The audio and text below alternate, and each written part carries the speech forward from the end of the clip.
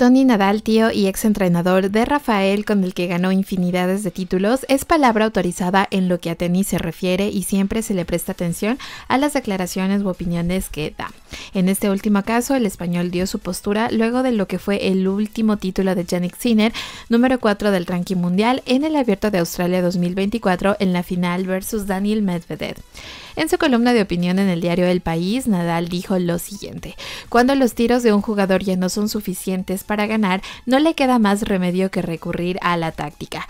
Pero Medvedev ni siquiera tuvo otra opción. El poder y la precisión del italiano lo destruyeron por completo. Por otra parte, le dedicó también palabras al que pinta como próximo clásico en el mundo de este deporte, que es Sinner versus Carlos Alcaraz, actual número 2 del mundo. Una vez terminado el partido de Sinner versus Medvedev, comenté el partido con mis hijos. Me temo que este gran y significativo paso podría cambiar el panorama del tenis en los próximos años. Aunque Sinner había sido considerado durante mucho tiempo el rival más probable de Alcaraz, le faltaba una victoria de esta magnitud para que lo respaldara. Será el mayor rival de nuestro tenista en los próximos años.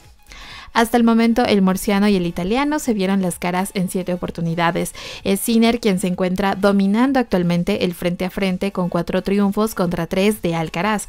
Por otra parte, en títulos de Grand Slam, Carlos tiene dos Os Open 2022 y Wimbledon 2023 contra el reciente conseguido por Yannick Sinner.